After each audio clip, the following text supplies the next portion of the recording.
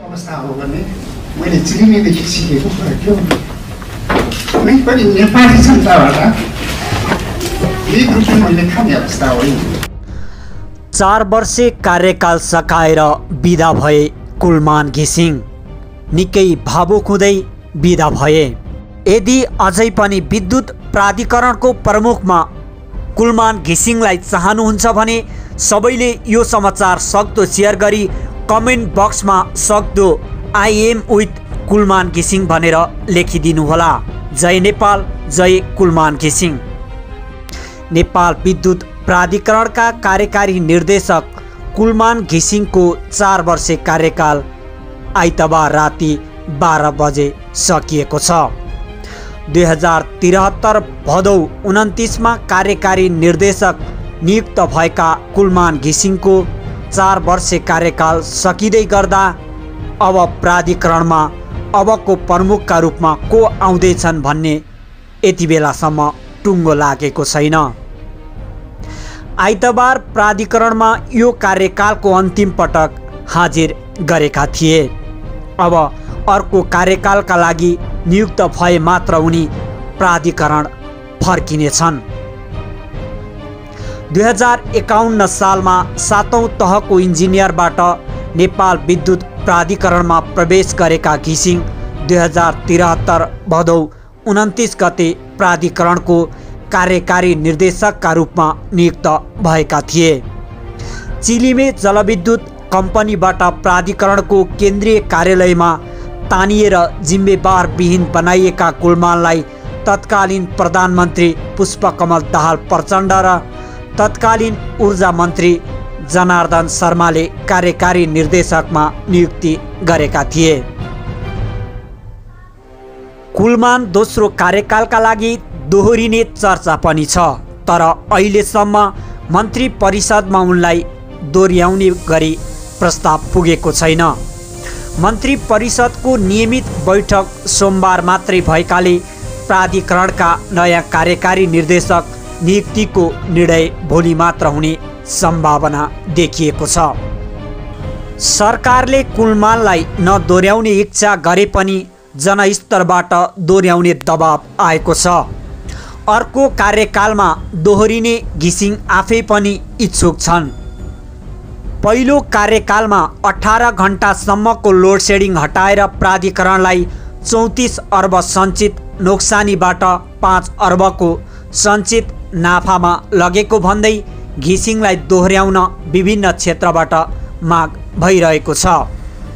अहिलेसम्म मन्त्रालयले नयाँ कार्यकारी निर्देशक नियुक्त गर्ने कुलमानलाई निरन्तरता दिने वा निमित्तका रूपमा अरूलाई नै काम गर्न दिने भन्नेबारे ऊर्जा मन्त्रालय मौन रहेको छ यति बेला विद्युत प्राधिकरण एनको दफा सत्रमा प्राधिकरणको कार्य सञ्चालनको निमित्त मुख्य प्रशासकीय अधिकृतको रूपमा समितिले एकजना महाप्रबन्धक र आवश्यकता अनुसार सल्लाहकार र कर्मचारीहरू नियुक्त गर्न सक्ने व्यवस्था छ। साधारण सभाको व्यवस्था नभएसम्म त्यस्तो मुख्य प्रशासकीय अधिकृतको रूपमा नेपाल सरकारले एकजना कार्यकारी निर्देशक नियुक्त गर्ने ऐनको व्यवस्था छ। यसका आधारमा घिसिङलाई पुनः नियुक्त नियुक्त दिनु कुनै कानुनी बाधा अडचन छैन। ऊर्जा मन्त्रालय भने कार्यकारी निर्देशकका लागि खुला प्रतिस्पर्धा गर्ने मनस्थितिमा रहेको छ। लोकप्रिय बनेका कुलमान घिसिङलाई दोहोऱ्याउँदा प्राधिकरणले गरेका कामको जस आफूले नपाउने डर सरकारलाई छ। ऊर्जा मन्त्रालयले प्राधिकरणमा नयाँ व्यक्ति ल्याउने गरी प्रक्रिया पनि सुरु गरेको छैन। यसका कारण कुलमान दोहोरिने वा नदोहोरिने भन्ने निश्चित हुन भने सकेको छैन। यदि तपाईँ अझै कुलमान घिसिङ प्राधिकरणको प्रमुखमा भएको हेर्न चाहनुहुन्छ भने यो समाचार सक्दो सेयर गरी कमेन्ट बक्समा आइएम विथ कुलमान घिसिङ लेखिदिनुहोला। जय नेपाल जय कुलमान घिसिङ। मेरो अवस्था हो भने मैले चिलिमीदेखि सिकेको कुरा के हो? कुनै पनि नेपाली जनताबाट मैले खाने अवस्था होइन। तर के हो भने मैले पैसै खानु परेको भए आज यो लिडबाट नेपाली जनताको पैसा खानु पर्ने थिएन। म चुप्पो लाएर बसेको मात्रै दुई चार घन्टा लुट सेट गरेको भए मात्रै पनि करोडौँ रुपियाँ मैले कमाएर बस्ने हो। तर म इमान्दार भएर लाग्दाखेरि थिएँ। आज जुन हिसाबले हाम्रो टिमलाई चार्ज लागेको छ त्यो त्यसमा कुनै सत्यता छैन। यदि तपाईँले यो हाम्रो इमान्दार प्रयासलाई तपाईँ पत्रकार साथीहरू र नेपाली जनताले देख्ने कुरा हो यो इमान्दार प्रयासलाई तपाईँहरूले गलत हिसाबले हेर्नुभयो हुन्छ भने हाम्रो टिमलाई एउटा मोटिभेसन एउटा डिस्करेज गर्ने हिसाबले आउँछ भने भोलिको दिन के हुन्छ? भोलिको दिन यो नेपालमा काम गर्न गाह्रो छ।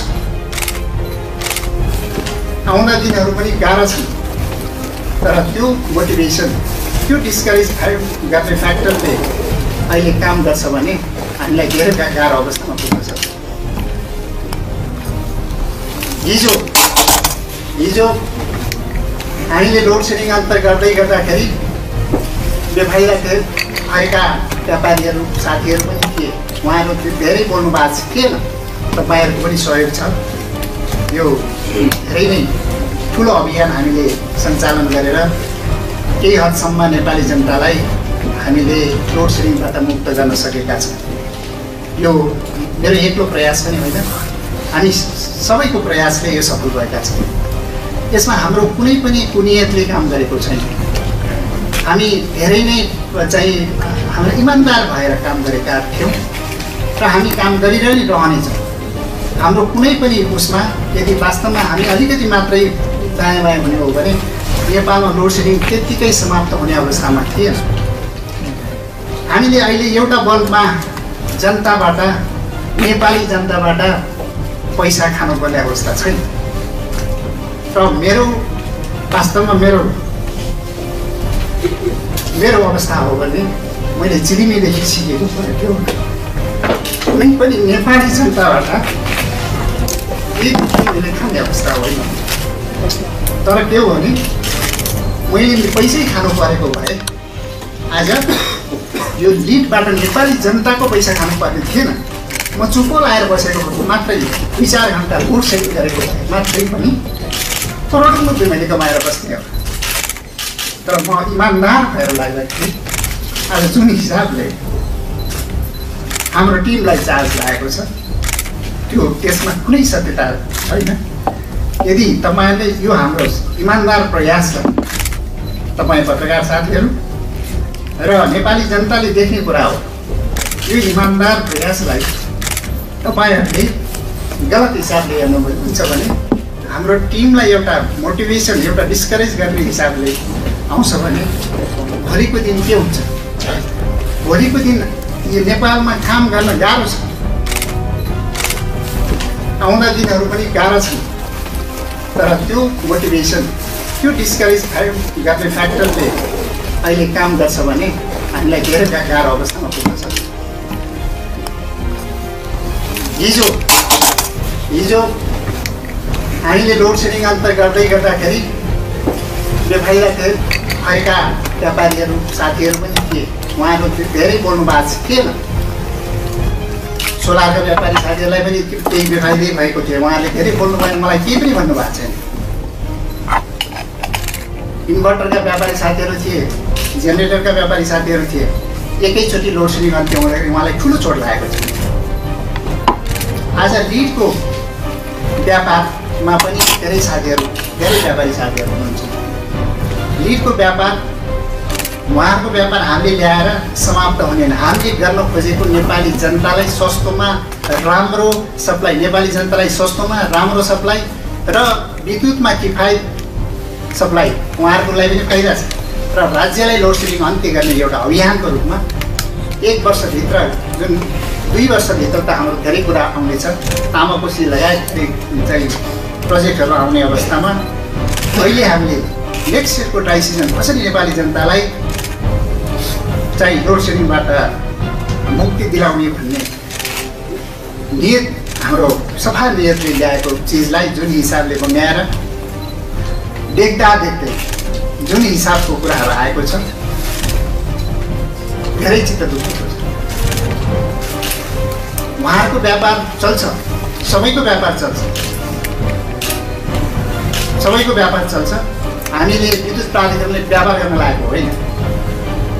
विद्युत प्राधिकरणले नेपालको उज्यालो अभियान नेपाल अभियानलाई सफल बनाउनलाई लोड सेडिङ ग्राहकलाई लोड सेडिङ अन्त्य गर्ने हामीले अन्त्य गर्ने भनेर घोषणा गरेका छौँ। त्यो प्रयासलाई सफल बनाउन हामी लागेका छौँ।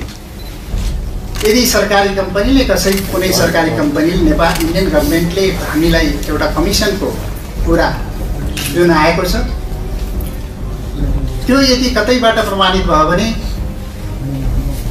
यो देशमा म बस्न तयार देशबाट चाहिँ बेचिन तयार छु। कुनै पनि चिज हाम्रो कुनै कुनियत छैन त्यो कुनियत कसैले देखेको छ भने प्रमाणित गर्नुभयो हुन्छ। र जो जोबाट जसरी चाहिँ आएको छ र व्यापारी साथीहरूलाई यो लिडको व्यापार वास्तवमा हामीले दुई अरब रुपियाँ नेपाली जनताबाट उठाउँछौँ। करिब सभा दुई अरब रुपियाँ उठाउँछौँ। तर त्यही दुई अरब दुई करोड लिड बल्ब मार्केटबाट जाने हो भने करिब करिब आठ दस अरब रुपियाँ नेपाली जनताले तिर्नुपर्छ यो को ठगिएको छ हामीले नेपाली जनतालाई ठग्न ल्या ल्याएको होइन। हामीले यो प्राइस ल्याउन साथ धेरै कुराहरूमा प्राइसमा कम्पिटिसन पनि हुन्छ भनेर ल्याएका यो प्राइस हामीले यहाँ पेनिट्रेसन गर्न सक्यौँ भने भोलि प्राइसमा नेपाली जनतालाई पनि धेरै सस्तोमा राम्रा बल्बहरू पाउँछ। कसैले पनि जिब्रो चपाएर भनिरहँदाखेरि आफैले आफ्नो लागि विद्युतको के अरे लिड बल्ब किन्न जाँदा भयो हुन्छ जानुभयो हुन्छ। यो वस्राम यो ब्रान्डेड कम्पनीको लिड बल्ब अडतिस रुपियाँमा पाउँछ भने म प्राधिकरणको सम्पूर्ण शक्ति त्यही लगाइदिन्छु तपाईँहरू बाँड्नुहोस् मैले भने अडतिस रुपियाँ होइन एक सय पचासमा ल्याउनुहुन्छ भने बाँड्नुहोस् हामी किन्दैनौँ भने तर तपाईँको क्वालिटीको तपाईँ चाइनिजको क्वालिटी हेर्नुभयो भने अहिले धेरै क्वालिटी मैले चाहिँ चाइनिजलाई सो गरेको होइन। ब्रान्डेड कम्पनीहरू पनि छन् चाइनिजका। ब्रान्डेड कम्पनीहरू राम्रा क्वालिटीका छन् त्यो त्यो पनि तिन सय पचासदेखि माथि छ। तर मार्केटमा यस्ता प्रडक्टहरू छ जुन प्रडक्ट तपाईँले विश्वासै गर्न सक्नुहुन्छ। नाइन वाट भनेर अठार वाट खपत गरिरहने अनि power five factor point five भइरहने हो भने हाम्रो सिस्टममा के हुन्छ? न ग्राहकलाई फाइदा न सिस्टमलाई फाइदा न लोड सेडिङमा त्यसले कुनै इम्प्याक्ट पार्छ। दुई दुई सय मेगावाटको चाहिँ हामीले बचत गर्ने भनेका छौँ। दुई सय मेगावाट बचत मेगावाट हामीले पा पावर प्लान्ट राख्नलाई छ सात वर्ष लाग्छ। दुई सय मेगावाट चाहिँ ट्राई सिजनमा पावर प्लान्ट ल्याउनलाई ट्राई सिजनमा दुई सय मेगावाट हुनको लागि करिब करिब छ सय मेगावाटको पावर प्लान्ट बनाउनुपर्छ। छ सय मेगावाटको पावर प्लान्ट बनाउनु खरबौँ रुपियाँ लाग्छ। अहिले हामीले बिना लगानी। वास्तवमा यो नेपाली जनताले गर्ने लगानी हो। नेपाली जनताले गर्ने लगानीमा हामीले दुई सय मेगावाट चाहिँ बचत गरेर नेपाली जनतालाई उज्यालोमा राख्ने भनेर जुन अभियान गरेका छौँ त्यसमा विभिन्न शङ्का शङ्का गरेर हाम्रो चरित्र हत्या गर्ने हिसाबले जुन लागेको छ त्यसमा ज्या ज्यादै दुख दुखित भएको छु। म आम नेपाली जनतालाई के चाहिँ आह्वान गर्न चाहन्छु भने यदि कुनै त्यस्तो भेटियो भने हाम्रो तर्फबाट कुनै किसिमको यसमा कुनियत भेट्यो भने झुन्ड्याइदिए हुन्छ हामी झुन्डिन तयार छ। तर जानी जानी बुझी बुझी यो किसिमको प्रचार नगरिदिनु होला भन्ने हामी सम्पूर्ण पत्रकार साथीहरू र आम पब्लिकलाई पनि हाम्रो चाहिँ आह्वान छ। अब यसमा कुनै किसिमको हाम्रो प्रक्रियागत त्रुटि त्रुटि भएको छ। अहिले भने भनिहालेँ मैले कुनै पनि हामी यो विद्युतको चाहिँ उत्पादनमा हामी लाग्ने हो। यो चाहिँ लिड बल्ब हामी व्यापारमा लाग्ने होइन। तर हामीले अघि नै भने बजारमा हामी इन्टर इन्टरभेन्सन गर्नुपर्ने छ यदि इन्टरभेन्सन यदि पैँतिस लाख ग्राहक छ अहिले जति पनि लिड बल्बको चाहिँ बिक्री भइरहेछ यो नयाँ चाहिँ घर बनाउने नयाँ ग्राहकलाई मात्रै गइरहेछ र जसको चाहिँ चाहिँ सिएफएल ल्याम्प भनौँ अरू ल्याम्पहरू फुटेको छ रिप्लेसमेन्टमा मात्रै गएको छ हामी भनिरहेछौँ त्यो सबै रिप्लेस गर्नुपर्छ। त्यो इन्टरभेन्सन नगरिकन रिप्लेसमेन्ट हुँदैन। त्यो इन्टरभेन्सन भनेको त्यो मार्केटमा चार सयमा किनेर पब्लिकले रिप्लेस गर्न सक्दैन। त्यो इन्टरभेन्सन भनेको हामीले चाहिँ सस्तोमा दिएर गर्नुपर्छ भनेर हामी ठाउँ ठाउँमा चाहिँ इन्टरभेन्सन गर्ने हो। सबै चाहिँ हस्पिटल लगायत लगायत सबै चाहिँ व्यापारिक मलहरूमा हामी चाहिँ गऱ्यो भने मात्रै त्यसको चाहिँ आउटपुट आउँदैन। सिएफएल पनि हामीले किनेरै इन्टरभेन्सन गरेको हो। त्यसपछि हामीले छोड्यौँ। मार्केटमा छोड्यौँ। अब यो कम्पिटिसनको लागि हामीले ल्याउन खोजेको एकदमै हाम्रो सच्चा नियतले ल्याउन खोजेको यसमा कुनै हाम्रो कुनियत छैन।